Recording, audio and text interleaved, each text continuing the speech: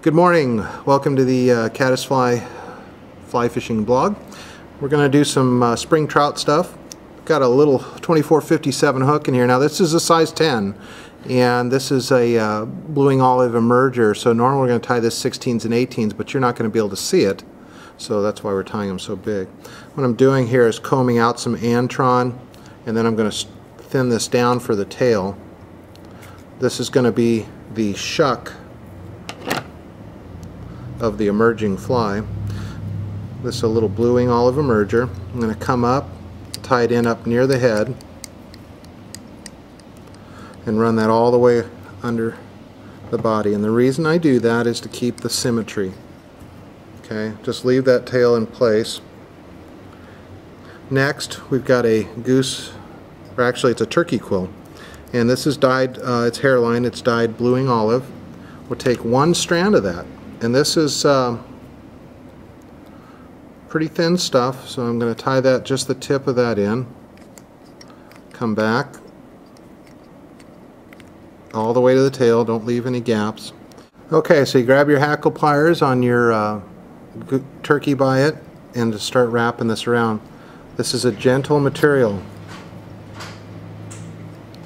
So you do not want to bang it off the point of the hook. Once it's wrapped, it's pretty durable, and if you want to increase the durability, you can add a small, and when I say small, I mean very small amount of um, Zap-A-Gap underneath there. Very light amount so it doesn't come through. You want to keep the segmentation and these little barbules that come off of the flat portion of the turkey quill. You don't want to mat those down. Next, we're going to tie in some CDC. I'm using two feathers. The puffs are a little bit better than your standard CDC. we're going to tie, I'm going to clip this off and tie the base in. These are regular CDC feathers, regular, not the puffs. Not the puffs. These are just regular old CDC, and this is what I have, so this is what I use. Okay. Okay, I'm going to leave that hang off the back there. Next, I've got some peacock herl, probably, you know, because of the size of fly, I'm using several strands. On your smaller flies, two or three will be plenty.